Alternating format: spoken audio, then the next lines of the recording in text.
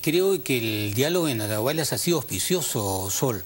eh, en el sentido de que hay una protesta eh, eh, liderada por agricultores. Esta protesta nosotros la consideramos justa porque tienen un problema de contaminación minera, de una, de una explotación minera ilegal que existe y por lo tanto ellos tienen una razón de ser y por eso hemos firmado un acuerdo con ellos y lamentamos mucho que hay grupos hoy día que son minoritarios que están extendiendo este conflicto a un una confrontación con las fuerzas policiales, en fin, con el orden público, eh, que no lo vamos a permitir porque definitivamente nuestra autoridad es una autoridad con justicia y lo que es justo lo vamos a tener que hacer respetar